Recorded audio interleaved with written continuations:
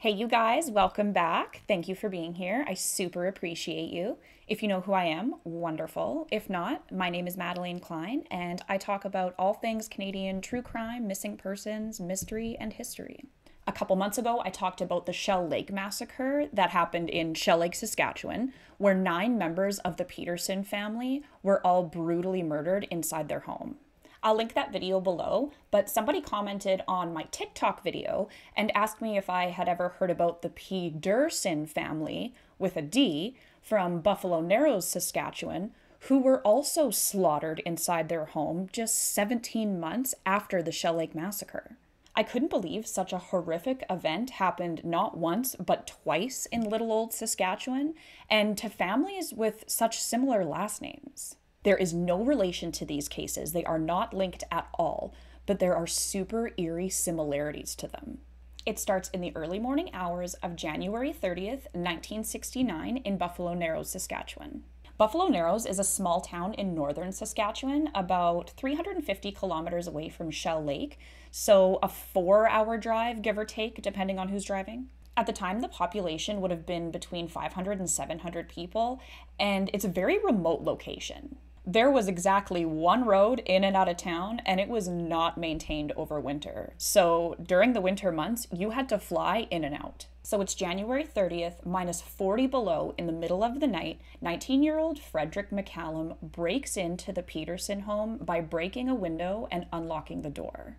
The timeline is a little unclear, but Frederick enters the house with a large axe and slaughters six members of the Pederson family and a family friend sleeping in the living room. 32 year old Thomas Pederson and his wife, 30 year old Bernadette, were found in their bedroom. A family friend, 48 year old Jean Baptiste Herman, was sleeping in the living room, and five out of the seven Pederson children were sleeping in the second bedroom.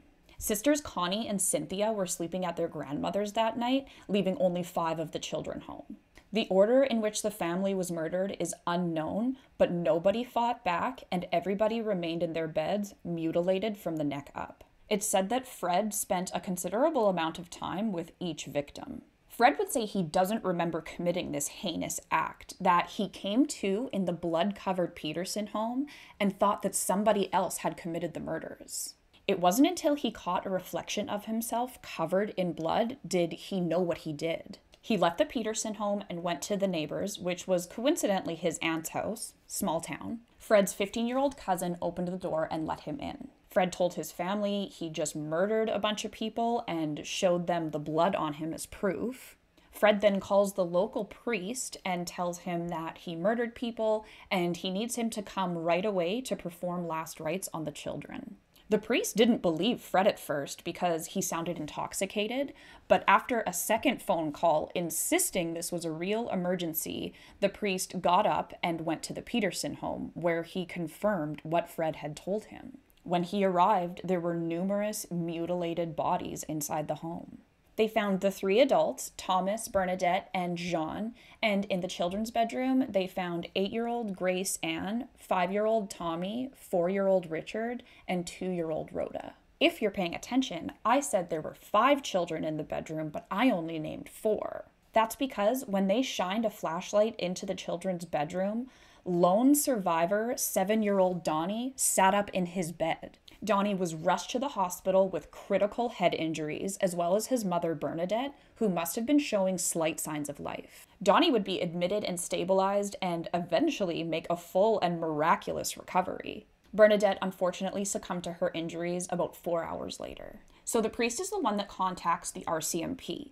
Police arrive to the neighbor's house at about 3:20 a.m. to arrest Fred and find him sitting at the table having a cup of tea. When they tell Fred that he's under arrest for murder, he replies with a simple and cold, I killed them, so what? When he's in the back of the cop car, Fred tells police, I didn't kill them all. There are three still alive. He also threatens the Mounties and says, I was gonna get you with an axe tonight, too. I'll kill you when I'm out. And it's also alleged he said he hopes he gets the electric chair. A little bit about Frederick McCallum. He grew up in a quite dysfunctional home in Buffalo Narrows with his alcoholic mother and eight half siblings. At 11 years old, he'd be removed from his home and placed into foster care, where he would move from foster home to foster home. He was moved around but always stayed in or around Buffalo Narrows. By 16, he spent some time in jail for minor crimes, and it would be in prison that he would start to hear voices and hallucinate. When he listened to the radio, he thought that they were talking to him or about him. There's not much else about the history of Fred McCallum, and I think that's largely due to the publication ban on this case. The trial was delayed many times for continued psychiatric testing, but in the end, Frederick McCallum would be found fit to stand trial. He was originally being charged with seven counts of non capital murder, but somewhere along the way, five of those counts were dropped, and he was only being charged for the murders of the two adult men. I have no idea why this happened, but the same thing happened with the murderer from the Shell Lake massacre. 21 year old Victor Hoffman killed nine members of the Peterson family, two parents, and seven children, but was only charged for the murder of the parents. Why? The 60s were a wild time. Anyway, by the time the trial rolled around, then eight year old Donnie had made a full recovery and testified. When asked what happened the night in question, he simply said, I got chopped. When they asked who did it, he called Fred by his nickname Benny. Fred, or Benny, was known to the Pederson family and was actually at the house just two nights before. There was said to be a gathering or a party, and at one point in the night, there was a dispute between Fred and Tommy and Bernadette over alcohol. There's reports Bernadette kicked him out of the house, but then there's other reports that said she just pushed him out of the room that they were in. But regardless, there was an argument. The court heard from a doctor who interviewed Fred McCallum many times, and during some of these interviews, McCallum was given sodium pentothal, which is also called truth serum. That's not a completely correct description, though, because this drug doesn't magically just make you tell the truth. Sodium pentothal makes it so that the brain can't form new deceptions or lies. But you can remember and reiterate previous lies you have formed. During these sessions under sodium pentothal, Fred talked about how he had thought about murder for a couple years prior, how much he hated Mounties and wanted to kill them originally, and make them suffer. He would also talk about the trance like state he was in when he came to in the Pederson house. He said it was like a dream or like he was in a daze. The doctor would tell the court he believed Fred was suffering from schizophrenia, which what happened in the Pederson home is like textbook schizophrenic episode. The all male, all white jury took only four and a half hours to reach their verdict not criminally responsible or not guilty by reason of insanity. Frederick McCallum would be sent to the Prince Albert Penitentiary for a brief time in 1970 before he was transferred to Oakridge in Penetanguishene, Ontario. I'm going to link all the videos I've done that Oakridge comes up in. There's a few of them. Oakridge was a maximum security facility for the criminally insane, and you would not believe the shit that went down there. But that's for another day. Fred flew under the radar until his release in 1989 with the condition he not return to Saskatchewan. The surviving victims of this brutal massacre would face a lifetime of hardship. Donnie, the lone surviving son, would struggle most of his life. He was vengeful of McCallum and believed he was in the PA pen. Donnie would spend a lot of his life committing crimes in attempt to be put into jail with McCallum to confront him. And like, uh, can you blame him? The two never crossed paths. McCallum would have already been in Oakridge by this time. In 1987, at just 26 years old, Donnie would have his life cut tragically short, getting hit by a car. Donnie, his sister Cynthia, and one of their uncles were driving along a road in Buffalo Narrows. An oncoming car got too close and swiped the driver's side mirror off. So the three of them pulled over, and when Donnie was assessing the damage, Another car came up and I guess didn't see him, hit him, threw him 30 feet, and he died. Like this poor family. There was very little community support shown to the surviving children of the Pederson family. They were offered no counseling, no therapy, nothing. They weren't even informed about the whereabouts of their family's murderer ever. They were never notified he left the province and surely not notified upon his release. They were and continue to be kept completely in the dark. Fred McCallum is a free man, and I cannot find anything about him. He may have changed his name, who knows? There was a condition of release that he not return to Saskatchewan, but something tells me that they're not very vigilant on enforcing these rules. I know that back in the day, if you were found not criminally responsible or not guilty by reason of insanity, you could, after X amount of years, apply for a pardon and end up getting your record completely wiped clean.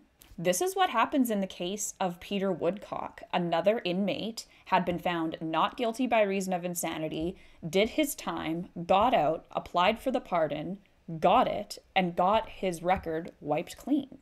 Because this man had no criminal record, he could sign other Oak Ridge inmates out on day passes. This happened, and another man got murdered. So there's that. I'll link that video below. I understand that some people can be rehabilitated and you can't lock everybody up forever. But you'd think that the bare minimum would be to keep tabs on the man capable of mass murder when unmedicated. And maybe letting the surviving victims know what's going on. But that's pretty much where it ends. If Fred McCallum is alive, I can't find a single thing about him on the internet. It's believed that he's in Ontario, but that's unconfirmed and just speculated. It's crazy how similar this case and the Shell Lake case are, even though they're not connected at all. Both happened in small town Saskatchewan in a two bedroom home, one surviving child, Peterson with a T, Pederson with a D. A young man was found not criminally responsible, diagnosed with schizophrenia, and sent off to Oak Ridge. It's a little weird. Jordan from the Nighttime Podcast and I just talked about this case on our series Canadian Gothic. I'll link that episode below. You can also catch us every Thursday night live from the Nighttime Podcast YouTube channel. I'll have that tagged below. Go subscribe. I'll link all of my episodes where the murderer goes to Oak Ridge at one point. Spoiler alert, there's like three or four. And as always, I'll have my link tree linked. If you feel moved to like, subscribe, comment, whatever, you can find all of my content there.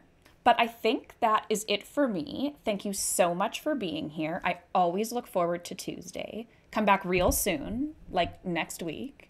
Okay, I really just need to get out of here. I never know how to end these things. Bye.